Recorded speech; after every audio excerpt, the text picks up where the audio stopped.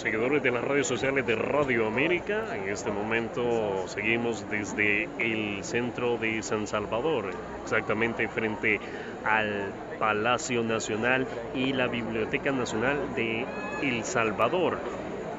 Ya a breves instantes de que inicie la investidura presidencial del presidente de esta nación, Nayib Bukele, quien ha sido reelecto en el mes de febrero del presente año y que el día de hoy tomará posesión de su cargo. Podemos observar en este instante, continúan llegando los invitados especiales, la prensa nacional e internacional ya está instalada para dar a conocer a nivel nacional y mundial de lo que ocurra en este evento.